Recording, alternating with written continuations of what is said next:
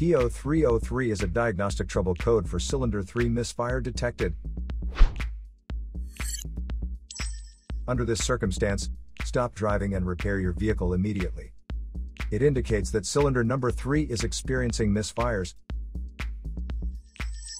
If you want to troubleshoot P0303, we have a video to show you how to fix this code at a low cost.